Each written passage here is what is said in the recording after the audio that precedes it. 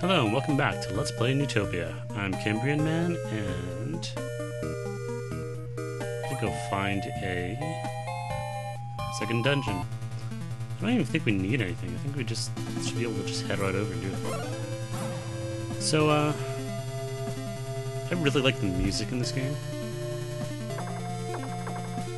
Other than the overworld theme, in fact, I actually think I might like the music better than Zelda 1 other than its overworld. Not this one. This one's actually pretty good, but um, Zelda's overworld theme is yeah. classic. So I think I said Golden Axe Warrior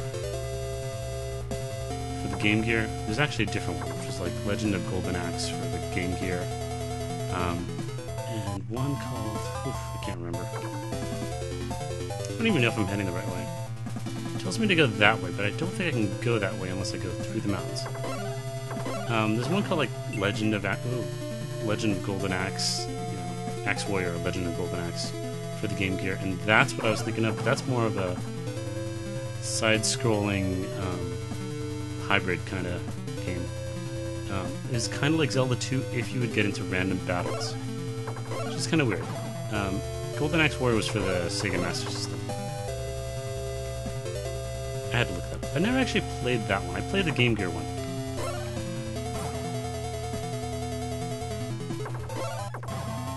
Um, so yeah, one of the things that makes Neutopia distinct from Zelda is that there are multiple overworlds. They're not that different, but you know, I guess they kind of are. They are, I think, a lot more maze-like. I mean, they refer to them as labyrinths. I don't think there's really anything to get. I think there's some people that give us some money, but nothing else interesting. Quinta comes from the world down under. Remember that, because it's going to be not at all important.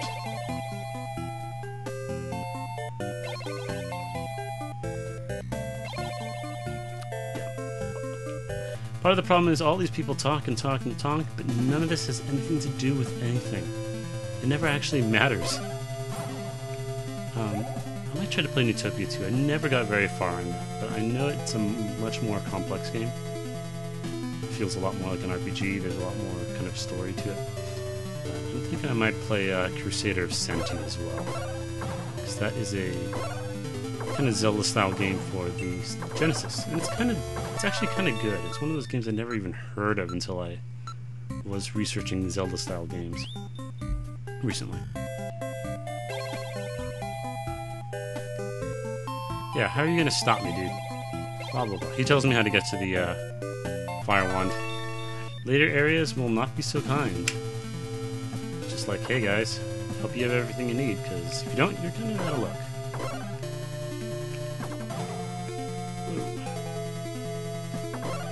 Yeah. There we go. I don't even know if there's anything else to get in the whole overworld. This might be a very short episode.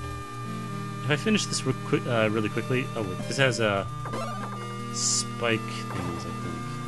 Yep. Most of these kind of brownish ones have spikes.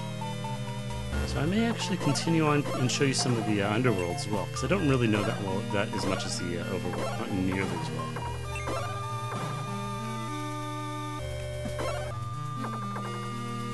I really don't remember any of these dungeons. I just test play this a little while ago. I, I wasn't really test playing it. I wasn't even planning on let's playing it until I started playing it again. I was like, oh, not really a game most people have heard of, but it's one that I played, you know, a fair amount.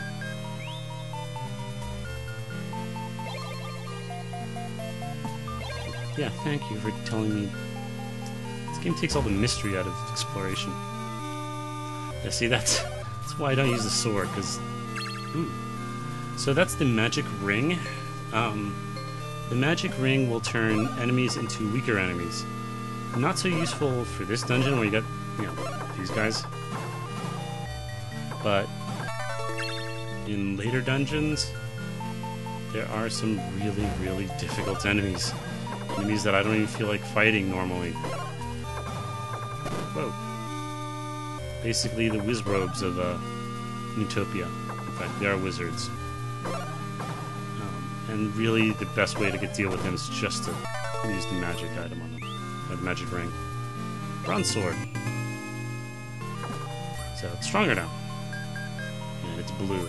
Yes, bronze is blue.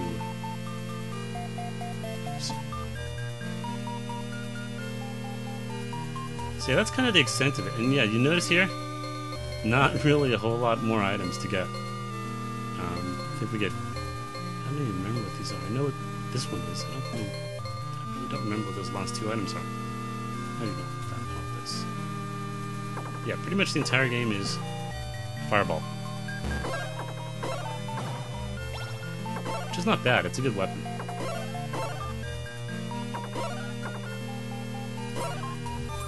So this is stronger, but not by a whole lot. It takes two hits instead of three to kill him.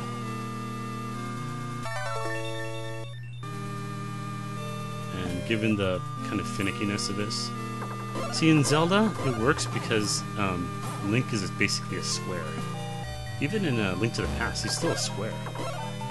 Um, so he's pretty good, but in this case, when you're attacking things, you got to be kind of watching out because you can get hit on your head while you're still just attacking with your sword. And it's really hard. It doesn't really reach the way you think it should. Room have a point? I don't think it does. Or maybe this was the room that he was telling me to bomb. I actually think this is just a dead end. Whoa! Yeah, see the, the bronze armor just absorbed a hit. That's how it works. It like rounds down or something. I don't know. Hmm. Actually, that was probably the room we should have bombed. Let's try it. We do not have the uh, boss key yet, though, so not a whole lot we can do, but yep, there we go. Thank you, old guy who I didn't listen to. Yeah, who cares? We don't have the boss keys, so let's go back and find it. Yeah, see, I got 500 gold now. Basically, I don't need to buy anything. I think there's like one thing to buy. Um, and the only thing I really want is occasionally maybe to buy bombs, but usually just to buy uh, health potions. And usually I'll go back to the beginning of the game because there's, you know, you can just teleport back to the save points um, and just buy it for 200 gold. There we go. Hope this is not the crystal ball. Two hits is too many. It is the crystal ball. And see, as if we couldn't tell that that would be the only way. There's only three places you could possibly bomb.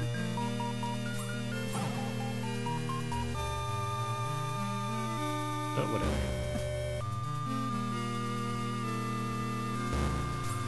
Oh, hey.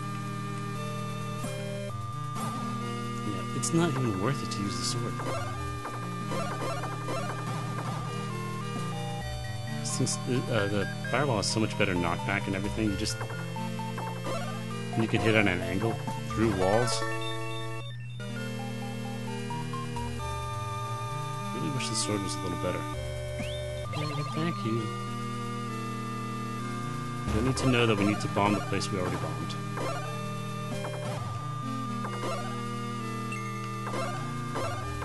These look the ant mines. Except, you know, not in the holes.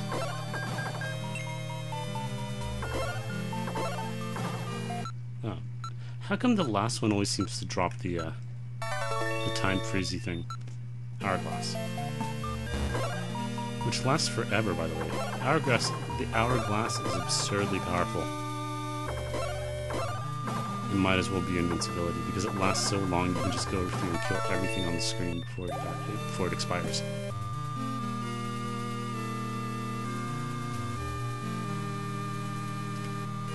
Sadly, every dungeon looks like this, and every dungeon has the same music.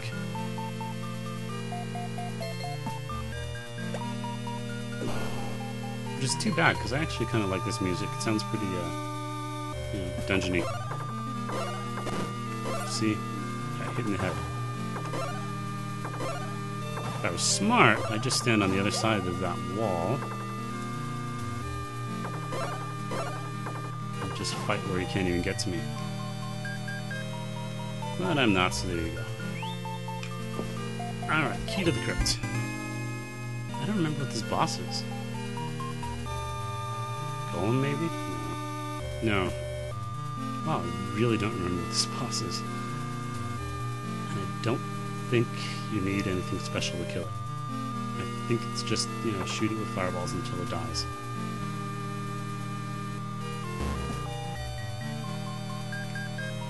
Yeah, these dungeons are a little bit plain. I wish they had more uh, colors to them.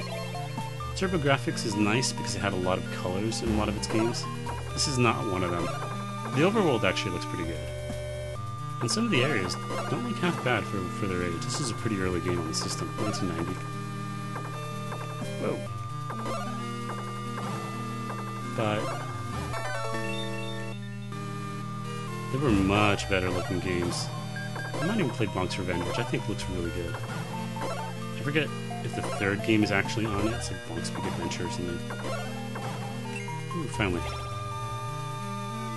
Um, but I always really liked how Bonk's Revenge looked. But it was bright and colorful, which is a lot more than could be said for a lot of Genesis games. Genesis tend to tended to have a very brown, dithered palette. Everybody remembers Sonic the Hedgehog, but they don't remember all the other games that look like complete crap on that system.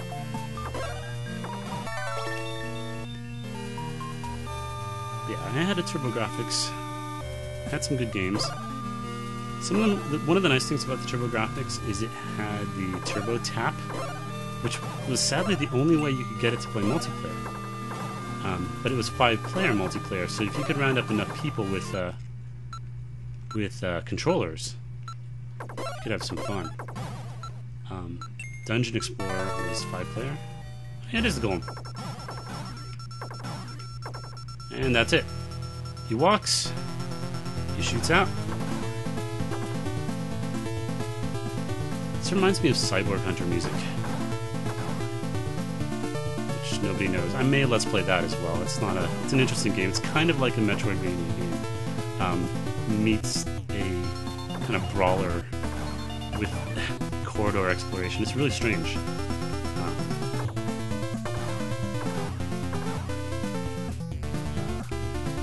that one's for the Sega Master System. Yeah, I luckily had a friend who had a TurboGrafx as well.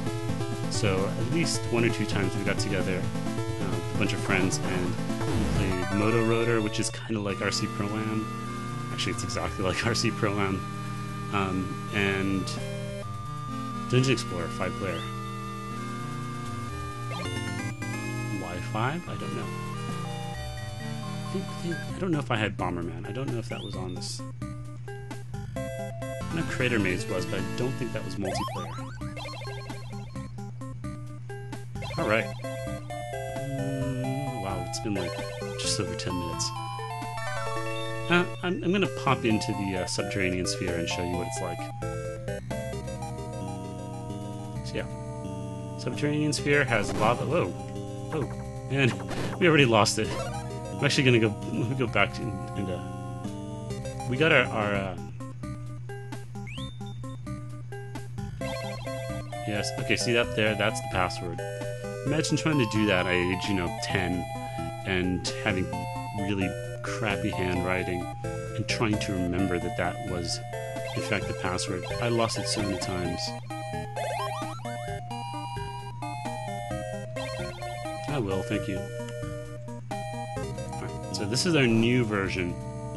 It is slow, but it moves much farther. Um, and it stays, so if it hits any of those burning things, then you can shoot it twice. See? Um, later on, we'll be able to. Yeah, see? Burning like crazy. Three times, actually. Apparently. Um, burn a lot of things. It's a little trickier to use. But it's still quite good.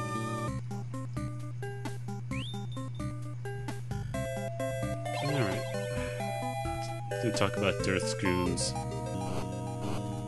Whoa. Just cannot take them seriously. Oh, I need the... Oh, the moss, I think, is what I need. Next dungeon will be dark. So I'm going to need to locate the moss. So let's go ahead and do that. Yeah, we have a few more minutes. Whoops. This is actually where the game...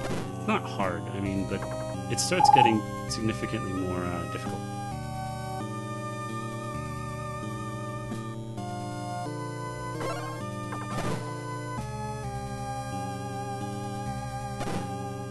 Oh, yeah.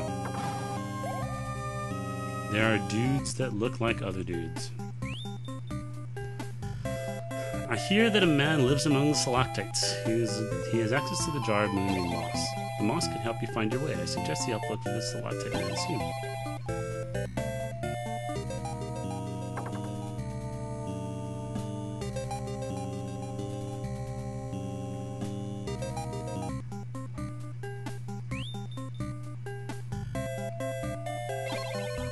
Why is it telling me this? We already... How would we even get here, get this far if we don't know that?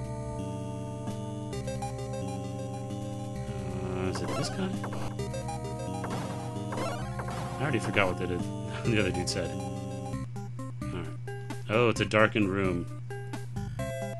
Aha! Medicine of Vitality, which we already have. So it does absolutely nothing.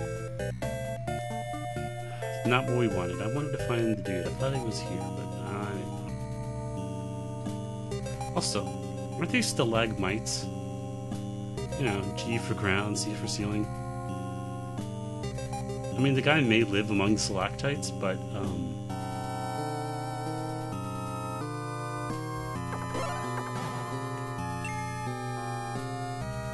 But these here are stalagmites. Ah, there he is. Hi, dude.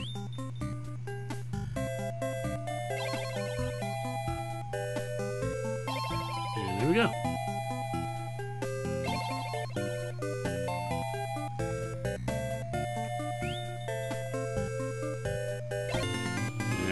We got the Moonbeam boss. That means we can actually go to the next dungeon. Um, but we'll do that next time because I don't feel like doing it right now. See you next time on Let's Play Neutopia.